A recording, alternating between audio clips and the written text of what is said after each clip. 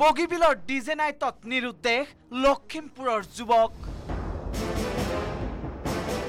চাৰিদিনৰ পিছত দলঙৰ সমীপৰ এৰাহুতিত উদ্ধাৰ মৃতদেহ।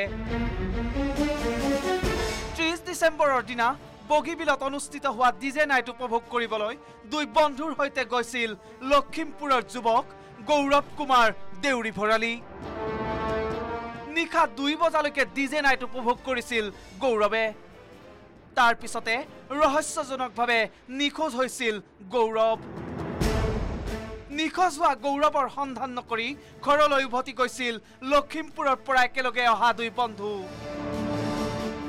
আনকি নিৰুদ্দেশৰ খবৰ লগে লগে পৰিয়ালকো জনোৱা নাছিল দুই বন্ধুৱে।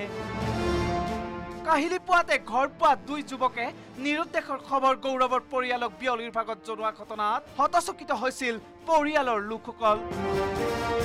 ৰাতিপুৱা ইয়াত আহি তাকো ঘৰত খবৰ দিছে বাৰটা বজাত ঘৰৰ মানুহক। তাৰ পিছতো তেখেতলোকে কোনো ধৰণৰ তত্বাৱধান কৰা নাই যে লগৰ ল'ৰাটো এনেকৈ হেৰাই আছে। সন্তান নিৰুদ্দেশ হোৱাৰ খবৰ পোৱা মাত্ৰকে নিজেও বিচাৰ খোচাৰ চলোৱাৰ লগতে আৰক্ষীৰ কাষ চাপিল পৰিয়ালৰ লোকসকল। নিৰুদ্দেশৰ চাৰিদিনৰ পিছত আৰক্ষীয়ে সন্ধান পালে গৌৰৱৰ। কিন্তু জীৱিত অৱস্থাত নহয় মৃত অৱস্থাত বগীবিল দলঙৰ কাষৰে এটা পানী জুৱলিত পৰি আছিল যুৱকজনৰ নিথৰ দেহ। আৰু আটাইতকৈ ডাঙৰ কথাটো হ'ল এতিয়া ডেড বডিটো য'ত ওলাইছে তাৰ পৰা তাৰ এই যিটো তেখেতলোকে য'ত ডিজে নাইট কৰিছিল তাৰ পৰা মুঠতে দহ মিটাৰ দূৰত্বৰ।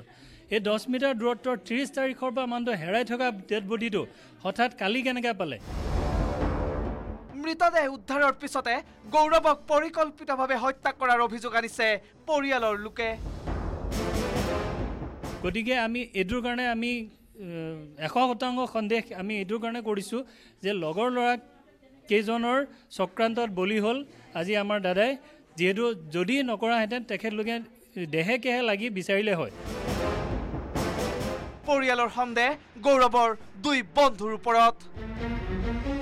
নিশাৰ ভাগতে নিৰুদ্দেশ হোৱা বন্ধুৰ খবৰ পৰিয়ালৰ লগতে আৰক্ষীকো নজনোৱা ঘটনাৰ বাবেই সন্দেহৰ আৱৰ্তলৈ আহিছে মৃত গৌৰৱৰ দুই বন্ধু।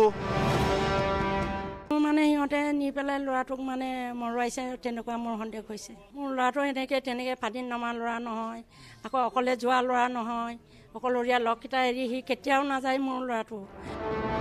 বহু যুগৰ অপেক্ষাৰ অন্তত উদ্বোধন হ'ল বগীবিল দলং। তাৰ পিছতে দৈনিক হাজাৰ হাজাৰ লোকৰ সোঁত বৈছে বগীবিললৈ কিন্তু বগীবিলক লৈ জিলা প্ৰশাসন বা আৰক্ষীয়ে নললে কোনো ধৰণৰ সতৰ্কতা। সেইবাবে দুৰ্ঘটনাৰ লগতে বগীবিলৰ ডিজে নাইটৰ অনুষ্ঠান চাবলৈ গৈ সাৱটিব লগা হ'ল অপঘাত মৃত্যু। চোৰ গলে বুদ্ধি ওলোৱা অসম আৰক্ষীয়ে সম্প্ৰতি আগবঢ়াইছে ঘটনাৰ তদন্ত।